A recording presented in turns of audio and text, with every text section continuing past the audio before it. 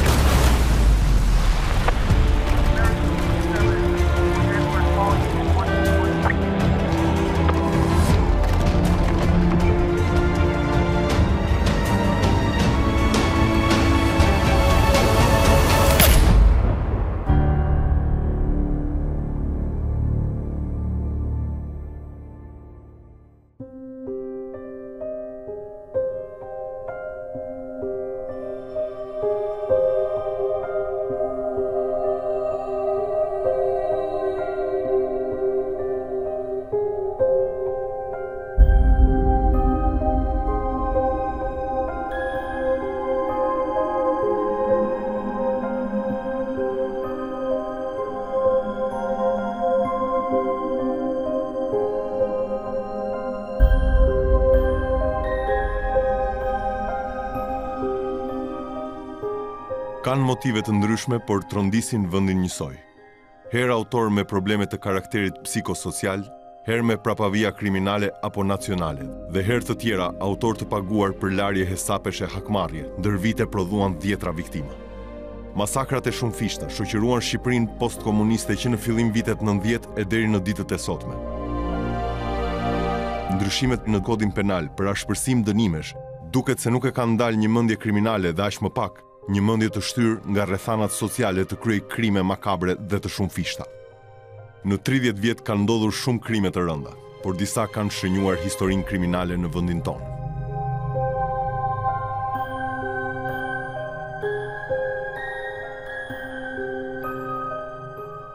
Rreth orës 0045 të datës 29 maj 1992, dy vëllezër hynë në shtëpinë pronë e familjes Pupa, Ata kanë shfrytëzuar dritaren e njërës prej dhomave ku flinte foshnja tetëmuajshe, Magdalena.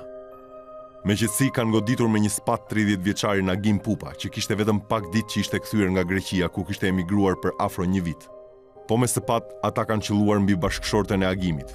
Ajo ka ndjerë nëpër gjumë hapat e hajdutëve dhe është përpjekur të dalë nga dhoma.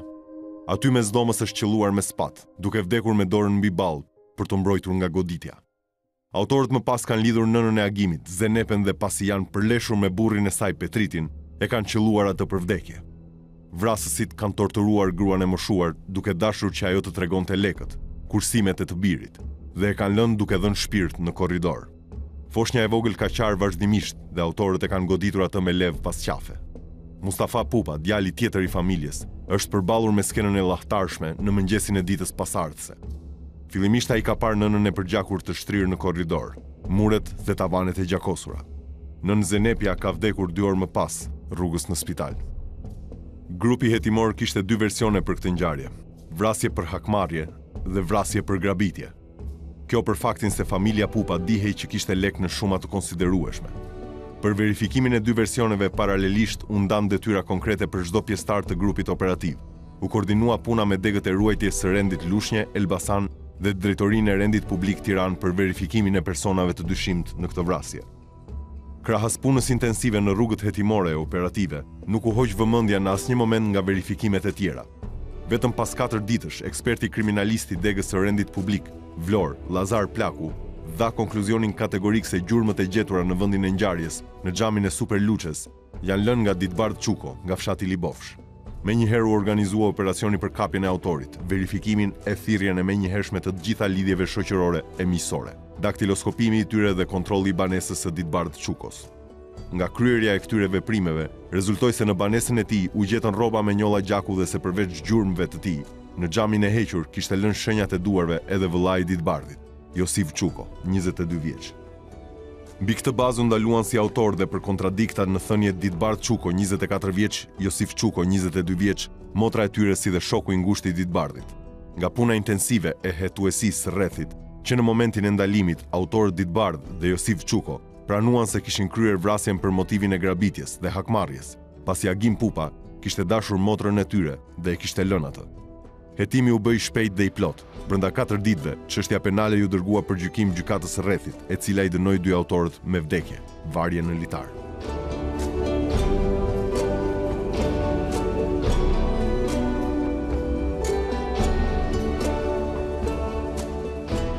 Në orën dy e tridhjetë të datës dhjetë prill një mijë e nëntëqind e nëntëdhjetë e katër, sulmohet posta kufitare e Peshkëpisë, në Gjirokastër, dhe ndodh ajo që mori emrin Masakra e Peshkëpisë. Organizata terroriste greke Mavi, Fronti për Çlirimin e Vorio-Epirit, kaloi kufirin e gjelbër nga Greqia dhe hyri në territorin shqiptar. Ata vranë komandantin e postës, Fatmir Shehu, ushtarin Arsen Gjini dhe plagosën ushtarët e tjerë, Ardian Velmishi, Janaj Zaka, Frederik Kalemi. Në raportin e plotë të Policisë së Gjirokastrës të përpiluar menjëherë pas ngjarjes, që i është dërguar Ministrisë së Brendshme, bëhet një përshkrim i hollësishëm i ngjarjes. Në dhjetë i katërt i një mijë e nëntëqind e nëntëdhjetë e katër, ora dy e tridhjetë, gjashtë deri në shtatë persona të paidentifikuar të veshur me uniformë ushtarake greke, të maskuar, kanë hyrë nga toka greke nëpërmjet grykës së Bogazit në tokën shqiptare, në postën kufitare të Peshkëpisë. Aty në mënyrë të befasishme kanë goditur me armë shotgun rojen e jashtme të postës, ushtar Arsen Gjini, njëzet vjeç, nga fshati i Semanit të Fierit, duke i shkaktuar atij vdekjen e menjëhershme. Më pas kanë kapur rojen e derës së hyrjes së postës, i cili së bashku me rojen e jashtme e kryenin shërbimin pa municion e janë futur në ambientet e postës. Dy prej tyre kanë hyrë në dhomën ku flinin oficerët e postës, Qemal Stroka e Siad Selfo, të cilët i kanë nxjerrë të lidhur. Një person tjetër prej tyre ka hyrë në dhomën e komandantit të postës Fatmir Shehu, tridhjetë e katër vjeç, lindur në Qesarat të Tepelenës e banues në Gjirokastër, duke e nxjerrë në korridor. Aty e kanë goditur me automatik duke i shkaktuar plagë në gjoks, e krahun e majtë e për rrjedhojë ka gjetur vdekjen. Pas këtyre veprimeve kanë hyrë në fjetoren e ushtarëve duke goditur me automatik në muret e tavanit të saj. Kanë sjellë aty trupin e ushtarit të vrarë me automatik dhe kanë goditur dhe plagosur edhe tre ushtarë të tjerë duke u thënë, Po të lëvizni do ta pësoni si ai. Këtë e bëjmë për Vorio Epirin, nuk e kemi harruar. Kanë kërkuar të dinë se ku është depoja e armatimit, por ushtarët nuk e kanë treguar atë. Gjatë kësaj kohe kanë kontrolluar dhe kanë marrë gjashtëmbëdhjetë automatikë, dy pistoleta në kasafortën e fjetinës duke i këputur drynat. Pasi kanë lidhur me pranga oficerin Qemal Stroka, e kanë marrë me vete duke i thënë ushtarëve që ky është i vdekur, prandaj ju mos lëvizni. Pasi e kanë marrë me vete janë larguar në drejtim të kufirit nga Gryka e Bugazit. afër kufirit, rreth dyqind metra larg piramidës njëzet e katër, e kanë lënë oficerin Qemal Stroka të lidhur me pranga duke i thënë që të kthehet në postë. Dhe për çdo minoritar do të paguani dhjetë nga ju. Dhe kanë ikur në tokën greke. Veprimet e para hetimore u bënë me grup hetuesish të policisë hetimore. Gjatë këqyrjes së vendit të ngjarjes, u gjetën gëzhojat e automatikut, shotgun me të cilat kishin qëlluar. Në rrugën e kthimit për në tokën greke u gjetën disa pajime ushtarake si çanta shpine, drita dore të prodhimit amerikan. Nga veprimet e para hetimore, u provua se disa persona të paidentifikuar nga ata, flisnin vetëm greqishte të pastër. Njëri fliste shqipe të çalë me theks minoritar dhe tjetri shqipe të pastër me dialekt të jugut. Për këtë ngjarje është hetuar tri herë kryetari i zgjedhur i bashkisë së Himarës, i cili aktualisht ndodhet në paraburgim, Fredi Beleri. Më e fundit ishte më tridhjetë e një janar dy mijë e nëntëmbëdhjetë, kur prokurori i Gjirokastrës firmosi rihapjen e dosjes për ngjarjen e dhjetë prillit të vitit një mijë e nëntëqind e nëntëdhjetë e katër në Peshkëpi. Por organi i akuzës atje shpalli moskompetencë dhe dosja u transferua për hetime te Krimet e Rënda.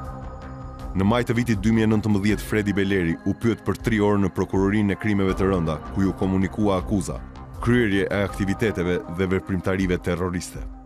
Sipas akteve në dosjen e Prokurorisë së Krimeve të Rënda, dy ushtarakët e vrarë dhe ushtarët e tjerë të plagosur janë qëlluar nga komandoja që erdhi nga territori grek. Prokurori i çështjes kishte lënë porosi pyetjen e dyzet e një personave. Mes këtyre personave ishin edhe ushtarët e plagosur në postën kufitare. edhe nënoficeri që u mor peng nga komandoja terroriste Mavi, shtetasi Qemal Stroka. Për hetimin e plotë dhe të gjithanshëm të këtij procedimi penal, Prokuroria e Krimeve të Rënda i nisi një letër porosie autoriteteve greke. Nëpërmjet kësaj letër porosie, Prokuroria kërkonte informacion nga autoritetet greke lidhur me personat e arrestuar më datë nëntëmbëdhjetë mars të vitit një mijë e nëntëqind e nëntëdhjetë e pesë në Greqi, të cilëve iu kanë kapur armë e municione. Njëherësh kërkoheshin emrat e plotë të këtyre personave, sasia e armëve dhe municionit, tipi, lloji, si dhe numrat serialë të tyre të sekuestruar në Greqi. Kërkohej po ashtu edhe verifikimi i këtyre personave mbi aktivitetin e tyre në Greqi dhe se ku ndodhen aktualisht me qëllim pyetjen e tyre lidhur me ngjarjen e Peshkëpisë. E me gjithë këto porosi e veprime hetimore, më njëzet e katër dhjetor të vitit dy mijë e njëzet e një, Prokuroria e Posaçme pushoi hetimin me konkluzionin se nuk janë gjetur prova të mjaftueshme. Tashmë dosja është arkivuar, ashtu si dhe në rastet e mëparshme me siglën pa autor. Fredi Beleri dhe dy të dyshuarit e tjerë të kësaj ngjarjeje, prej asaj date u liruan nga akuzat e ngritura ndaj tyre.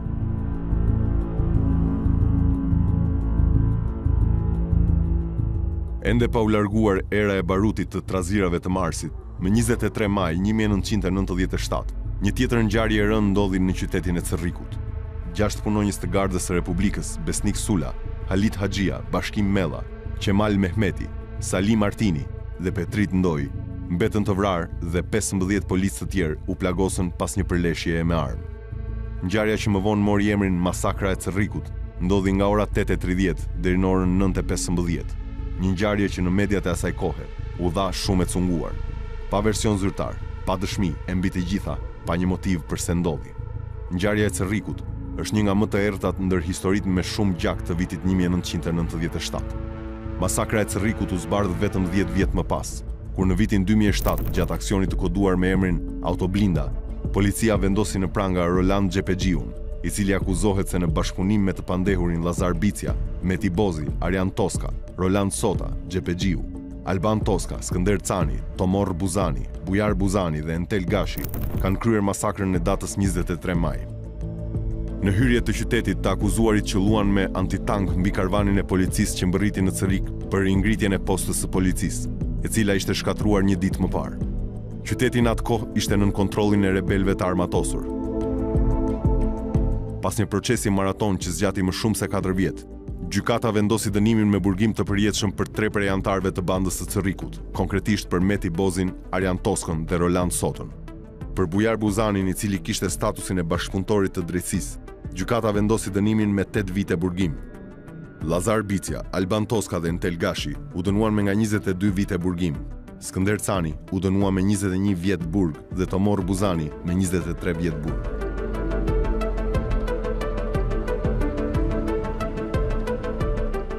Data shtatëmbëdhjetë qershor një mijë e nëntëqind e nëntëdhjetë e shtatë, Shtatë, mbahet mend si një ditë e errët për banorët e Urës Vajgurore sot me emrin Dimal.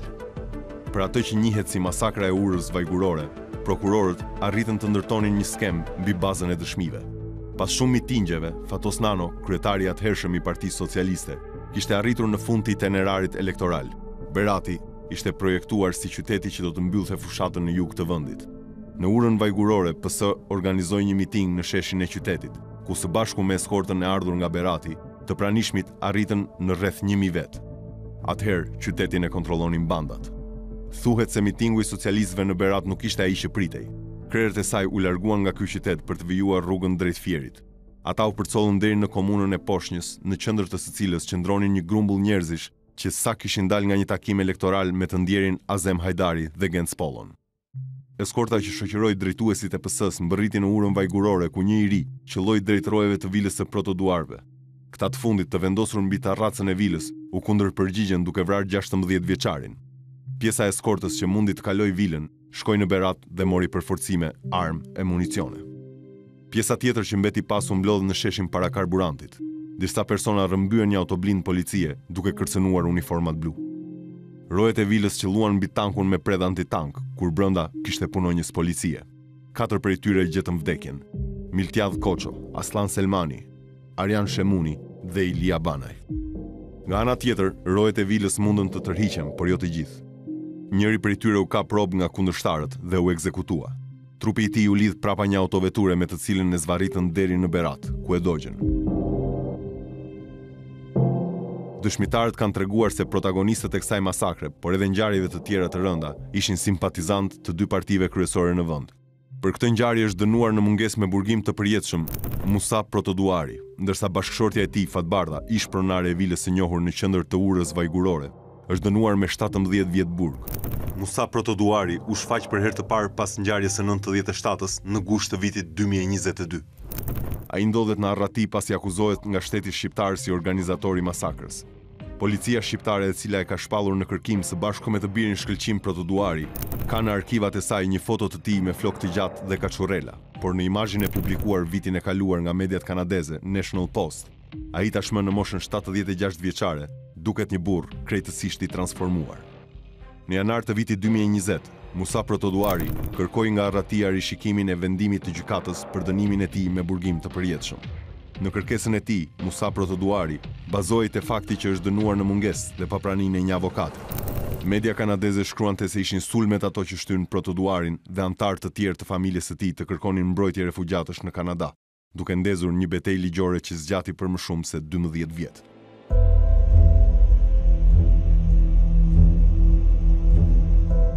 Më nëntë shkurt të vitit 2006, fshati Kozar i Kuçovës përjetoi një tragjedi të rëndë. Në shtëpinë e tyre u vranë tre pjesëtarët e një familje të re, prindërit dhe djali i tyre dy vjeç. Vrasja u konsiderua e katërfishtë, pasi gruaja ishte shtatzënë. Të vrarë nga të shtënat e një arme zjarri, mbetën Shpëtim Marra, tridhjetë e pesë vjeç, bashkëshortja e tij, Florie Marra, shtatzënë në muajin e katërt, dhe djali i tyre dy vjeçar, Artjol Marra. Si autor i kësaj ngjarje u arrestua vëllai i Shpëtimit, Luan Marra. Sipas versionit të prokurorisë më nëntë shkurt dy mijë e gjashtë, rreth orës nëntëmbëdhjetë zero zero, Shpëtim Marra shkoi për vizitë te vëllai i tij, Iliri, me gruan dhe djalin dy vjeç. Rreth orës njëzet e një, ata janë kthyer në banesën e tyre. Në atë kohë, në banesën e Shpëtim Marrës, kanë shkuar vëllai i tij Luani, i cili sipas prokurorisë donte të sqaronte një debat mes tij dhe Shpëtimit. Mendohet se dy vëllezërit kanë debatuar në prani të gruas së Shpëtim Marrës dhe djalit dy vjeçar. Shkak i debatit ka qenë dyshimi se Luan Marra ka pasur marrëdhënie intime me gruan e të vëllait, në kohën kur Shpëtimi ndodhej emigrant në Greqi.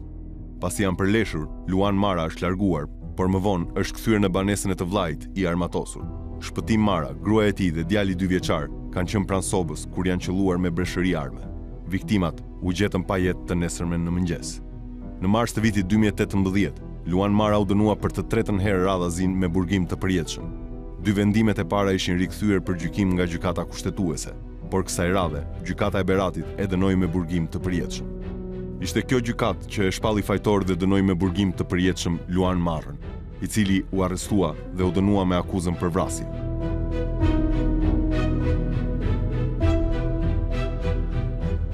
Më shtatë gusht të vitit dy mijë e nëntë, policia kishte marrë informacione për lëvizjet e personit shumë të kërkuar, Dritan Dajti, i cili strehohej në një banesë në afërsi të pistës Iliria në plazhin e Durrësit. Sapo mori këtë informacion, Sektori i Operacioneve Speciale organizoi shërbime në këtë territor për të bërë të mundur identifikimin dhe kapjen e tij. Rreth orës trembëdhjetë e dyzet e pesë nga shërbimet e vendosura, është konstatuar se personi shumë i kërkuar është afruar me një makinë Volkswagen Touareg me ngjyrë të errët. Makina është parkuar në rrugën dytësore Pista Iliria dy, Durrës. Drejtues i mjetit ishte Erges Xhoxhi. i cili ka ndaluar përballë furgonit të bardhë. Mjeti është lënë ndezur dhe nga aty kanë zbritur Erges Xhoxhi dhe Ledion Mara, të cilët kanë qëndruar në këmbë pas makinës ndërsa brenda në sediljen e pasme qëndronte Dritan Dajti. Në këtë moment komandanti i Forcës së Posaçme, Fatos Xhani që ishte në terren, rreth njëzet metra larg nga automjeti i përballti, pasi ka parë skenën ka urdhëruar grupet e Forcës së Posaçme që tashmë ishin afruar mjetit që të ndërhynin për neutralizimin e Dajtit, i cili kishte mbetur i vetëm në makinë. Kur janë afruar tek mjeti Tuareg, punonjësi i policisë, Fatos Xhani, ka hapur derën e parë të krahut të shoferit dhe me thirrjen Ndal policia, i është drejtuar personit që ndodhej në sediljen e pasme. Në këtë moment, Dritan Dajti ka qëlluar drejt Fatos Xhanit, duke e lënë të vdekur. Pasi ka parë praninë e policisë, Dajti ka tentuar të dalë nga dera e pasme e krahut të pasagjerit. por edhe aty ka konstatuar forca policie. Në atë moment, tek dera e pasme e krahut të pasagjerit, është afruar për të hapur derën punonjësi i policisë, Saimir Duçkollari. Në këtë moment, Dritan Dajti nga brenda makinës, ka hapur zjarr nga krahu i djathtë me dy armë zjarri, ku për pasojë ka mbetur i vrarë punonjësi i policisë Saimir Duçkollari, i cili sapo kishte prekur dorezën e derës. Kjo skenë është parë e gjitha nga një dëshmitar, punonjës policie që ka qenë vetëm dy metra larg Duçkollarit. Në këtë moment, dëshmitari tregon se është tërhequr dhe ka mbushur automatikun që kishte me vete, por kur ka dashur të qëllojë, arma e tij është bllokuar. Një tjetër efektiv ka qenë në pjesën e pasme të makinës, në krahun e majtë, dhe ka parë skenën e vrasjes së Fatos Xhanit. Nga ana tjetër, Kastriot Feskaj dhe dy efektivë të tjerë janë përpjekur të neutralizojnë tre persona që qëndronin në këmbë pas automjetit tip Tuareg në momentin kur forcat policore hynë në veprim. Njëri ka neutralizuar një të ri, rreth njëzet e pesë vjeç, dhe tjetri ka prangosur Erges Xhoxhin, të cilin ka tentuar ta largojë nga vendi ku po zhvillohej ngjarja pasi kishte shumë të shtëna me armë zjarri. Ndërsa Kastriot Feskaj është përpjekur të ndihmojë kolegun e tij të lëvizte nga vendi shtetasin Erges Xhoxhi për ta nxjerrë jashtë nga rrezja e zjarrit që vazhdonte të qëllohej nga Dritan Dajti. Personi i cili është neutralizuar në fillim nga polici ka mundur t'i largohej atij dhe në ndjekje i është vënë Kastriot Feskaj, duke u futur në një rrugicë paralele me makinën ku ndodhej i kërkuari. Nga ana tjetër, Dritan Dajti, i identifikuar si personi që qëlloi nga brenda Tuaregut, dhe vrau dy punonjësit e policisë Fatos Xhani dhe Saimir Duçkollari, ka dalë nga dera e pasme e mjetit, krahu pas shoferit dhe menjëherë ka hapur zjarr në drejtim të punonjësit të policisë, Altin Dizdari në distancë jo të largët. Nga shkëmbimi i zjarrit ka mbetur i vrarë polici Altin Dizdari, i cili nuk ka arritur të hynte në operacion pasi sapo kishte ardhur në vendngjarje me motor, i maskuar me rroba plazhi. Njëkohësisht nga përdorimi i armës prej Dritan Dajtit, Në momentin kur është qëlluar drejt Altin Dizdarit ka mbetur i vrarë dhe shtetasi Ledion Mara, i cili ishte i shoqëruar me Erges Xhoxhin dhe po qëndronte me të pas një makine në momentin kur mbërriti policia. Pasi ka kryer këto veprime personi që doli nga makina i identifikuar tashmë si Dritan Dajti, ka vazhduar rrugën në drejtim të rrugicës së plazhit me një çantë që kishte krahëqafë me qëllim që të hynte në plazh dhe të përzihej me plazhistët. Pikërisht në atë rrugicë, me pistoletën që mbante në dorë, Dajti ka qëlluar dy herë në drejtim të efektivit tjetër të policisë, i cili kishte mbetur i rrëzuar në mesin e rrugës për në plazh në momentin që po përleshej me personin që arriti të largohej. Nga ana tjetër, personi që ka mundur t'i largohet policit, është ndjekur me vrap nga Kastriot Feskaj dhe në hyrje të rrugicës së dytë Kastrioti ka arritur ta neutralizojë këtë person. Pasi ka parë këtë skenë, Dritan Dajti i është afruar Kastriot Feskaj, duke e qëlluar disa herë nga pas, dy herë edhe në kokë. Në këtë moment Feskaj e ka lëshuar personin që kishte neutralizuar, i cili ka arritur të largohet pa u identifikuar, ndërsa Dajti ka vazhduar rrugën drejt plazhit dhe ka qëlluar dhe në drejtim të një kalimtari të rastit që po kthehej nga plazhi. Në ndihmë të këtyre punonjësve të policisë kanë ardhur edhe efektiva të tjerë policie të cilët kanë bërë të mundur neutralizimin e Dritan Dajtit me pistoletë në dorë, i cili pasi ka mbetur i plagosur me një plumb në këmbë dhe një në bark, është rrëzuar në mesin e rrugës. Në këtë moment pranë tij është afruar efektivi i policisë, i cili ka arritur ta prangosë atë, duke i hequr dhe armën që kishte me vete, që ishte krejtësisht e zbrazur, pa municion në të. Ky ka qenë dhe momenti që personi i sapoprangosur është vetidentifikuar si Dritan Dajti. Në shkurt të vitit dy mijë e nëntëmbëdhjetë, Gjykata e Apelit për Krime të Rënda pranoi gjykimin e shkurtuar, duke dënuar në total me njëzet e pesë vite burg Dritan Dajtin për vrasjen e katër policëve. Procesi ndaj Dajtit zgjati rreth dhjetë vite, ndërsa në shkallën e parë u dënua me burgim të përjetshëm në vitin dy mijë e katërmbëdhjetë. Gjykimi i shkurtuar i ka dhënë të drejtën Dajtit të përfitojë nga ulja e dënimit në një të tretën. Çështja është gjykuar nga gjyqtarë të cilët vinin nga apelet e rretheve, ndërsa vendimi u dha pas disa seancash shtyrjeje për mosformim të trupit gjykues.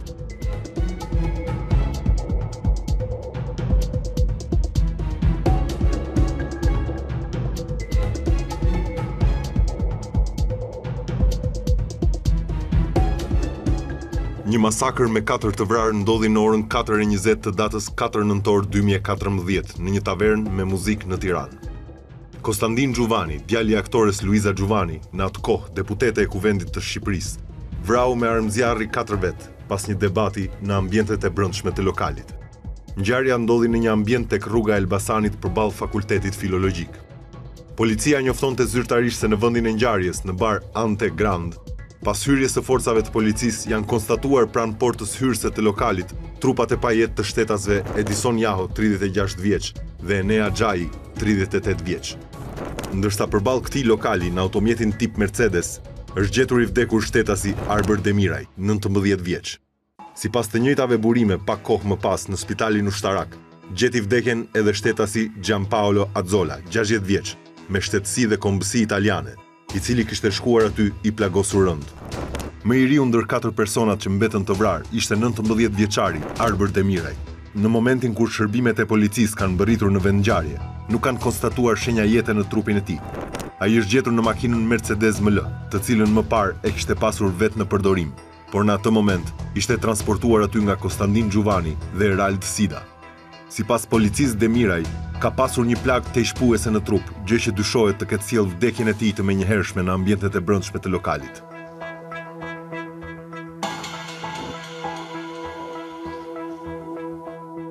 Mbrëmjen e tre shkurtit në lokalin që në Elbasan njihet me emrin Rrapi i Gonit, pjesëtarët e familjes Çapja, të afërm e miq të tyre ishin mbledhur për një gëzim familjar. Arnoldi, djalë i Agron Çapjas, pronarit të lokalit, ishte kthyer tre ditë më parë në Shqipëri. Për të festuar kthimin e tij, ishin mbledhur dhjetë vetë, të paktën kështu thotë policia. Megjithatë mund të kenë qenë edhe më shumë, por emrat e tyre nuk u përmendën askund. Policia shpërndau vetëm emrat e tre të vrarëve dhe tetë të plagosurve. Nuk kishte kaluar asnjë orë nga nisja e dollive në lokal, kur në drejtim të tij janë derdhur gjashtëdhjetë e pesë plumba.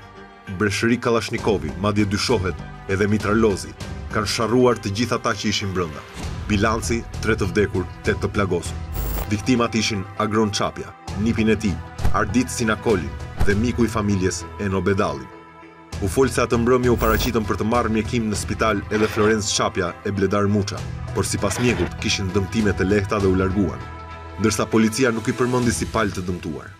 Vrasja e tre personave e plagosja e tetë të tjerëve, ndonëse dukej si një krim i paralajmëruar, por askënd në qytet nuk kishte menduar se mund të merrte përmasa të tilla.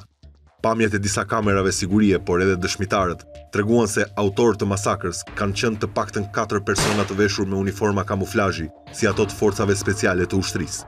Në kokë kishin kapuçë të zinj që mbulonin tërësisht fytyrën, përveç syve. Dy prej tyre kanë zbritur nga makinat dhe kanë qëlluar nga afër lokalit, ndërsa dy të tjerë, Kanë qëlluar në distancë nga brenda makinave.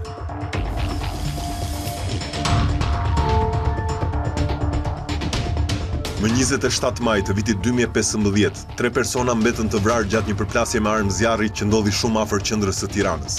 Ngjarja ndodhi rreth orës nëntëmbëdhjetë e njëzet. në bulevardin Zogu i Parë në hapësirën mes Maternitetit Mbretëresha Geraldinë dhe Fakultetit të Shkencave të Natyrës.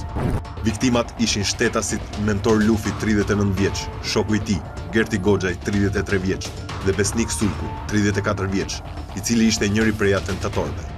Burimet thanë në atë kohë se objekti i këtij atentati ishte shtetasi Mentor Lufi. Policia ndaloi tre persona, dy nipat e Lufit, Markeljan dhe Klevis Doçi, që dyshohet se janë kundërpërgjigjur me armë pasi është qëlluar xhaxhai i tyre, dhe shtetasi italian Salvatore Letizia, i cili shoqërohej me atentatorin Besnik Sulku, i cili po ashtu mbeti i vrarë.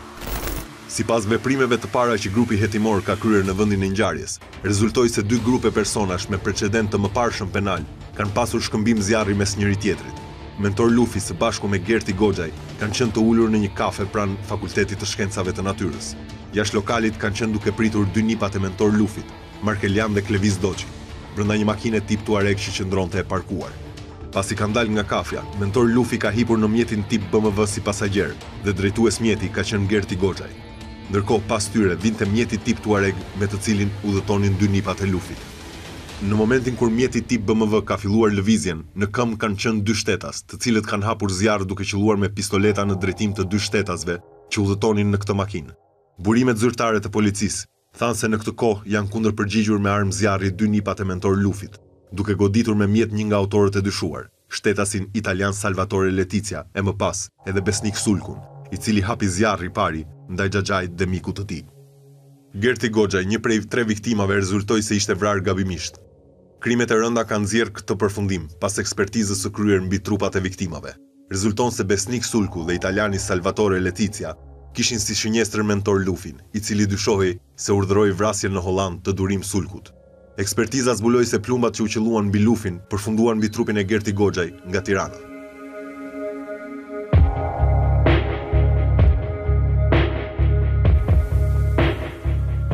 Një familje u shua pasditen e dhjetë gushtit të vitit dy mijë e tetëmbëdhjetë në Selenicë të Vlorës, ndërsa një varrezë e re u hap pranë banesave të fisit Zykaj, tetë anëtarë të së cilës nuk jetojnë më. Amaneti i Demir Zykajt, vëllai i gjyshit të autorit, u çua në vend. Sa ishte gjallë, ai u kishte kërkuar të bijve që ta varrosnin në tokat e tij, jo në varrezat e fshatit. Por Demiri nuk e kishte parashikuar një fund tragjik të tillë për djemtë, gratë e tyre, madje dhe nipin e mbesën. E kush mund ta kishte menduar? Aq më tepër që vdekja do u vinte nga nipi i vëllait të tij, nga një njëzet e katër vjeçar që e kishte rritur vetë në shtëpinë pranë e që pasditen e dhjetë gushtit pa iu dridhur dora, vrau të gjithë familjen. Madje nuk i kurseu plumbat as për kushëririn e vet tetë vjeçar që e gjeti në tavolinën e bukës. As për kushërirën pesëmbëdhjetë vjeçe, që kishte mbaruar klasën e nëntë me rezultate të shkëlqyera e që u varros bashkë me të vëllain, nënën e babanë. Masakra e Selenicës ndodhi rreth orës tetëmbëdhjetë zero zero në fshatin Resulaj të Selenicës, në Vlorë, pas sherrit për pulat mes dy familjeve të të njëjtit fis dhe kushërinj me njëri-tjetrin.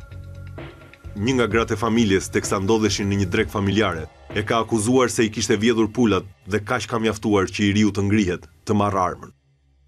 Ai qëlloi mbi tetë persona duke lënë të vrarë Demir Zykaj shtatëdhjetë e gjashtë vjeç, kryefamiljar, bashkëshorten e tij, Perri Zykaj, shtatëdhjetë e gjashtë vjeçe, dy djemtë Besim e Azem Zykaj, dyzet e pesë e dyzet e nëntë vjeç, Vasilika Zykaj, dyzet vjeç, bashkëshortja e Besimit.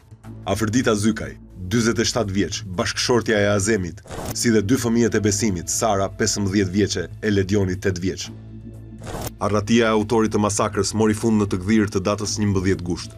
Ai është arrestuar nga Forcat Speciale Renea, i fshehur në disa kallamishte, disa qindra metra larg shtëpisë së tij. Mbi pesëqind punonjës policie, FNSH, Delta, Renea dhe efektivë të Policisë së Vlorës morën pjesë në operacionin për arrestimin e tij.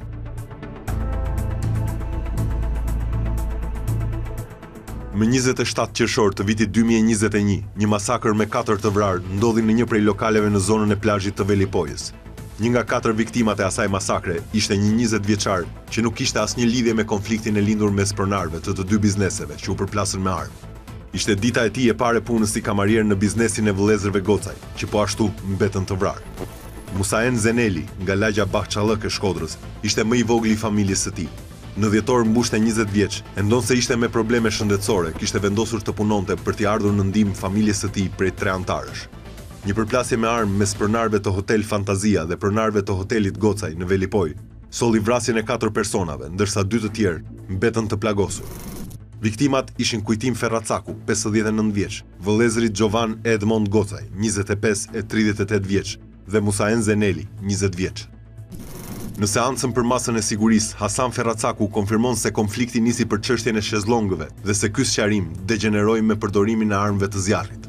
Ai shprehej se vëllezërit Gocaj, të cilët mbetën të vrarë nga ngjarja, pretendonin se shteti duhet të ndante në terren hapësirën në plazhe, ndërsa Agjencia e Bregdetit, në varësi të Ministrisë së Turizmit, i kishte dhënë familjes Ferracaku të drejtën e shfrytëzimit. Ashtu si babai i dy prej të vrarëve, edhe Hasan Ferracaku tregonte se në vitin dy mijë e shtatëmbëdhjetë, Hapësira ishte përdorur nga vëllezërit Gocaj dhe se atë vit që ndodhi ngjarja, do të administrohej prej tyre.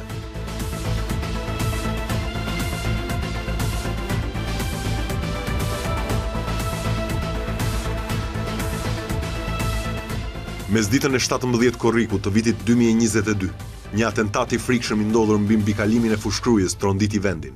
Tre të rinj u qëlluan brenda një makine të cilës më pas iu vu flaka. Asnjëri nuk arriti të mbijetojë.